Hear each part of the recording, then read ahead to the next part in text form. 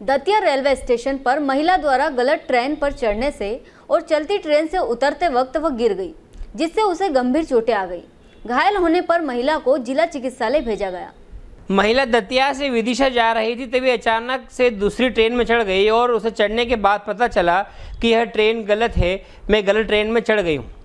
इसी हड़बड़ाहट में चलती ट्रेन से उतरने की कोशिश की, लेकिन वह गलत दिशा में उतरने की वजह से प्लेटफार्म पर ही गिर पड़ी, जिससे वे गंभीर घायल हो गई। महिला का नाम गीता रायकवार, निवासी खलकापुर बताया जा रहा है। घायल महिला को दतिया अस्पताल में भर्ती कर प्राथमिक उपचार दिया जा रहा है। डॉक्टर ने हालत गंभीर बताते हुए उसे झांसी रेफर किया।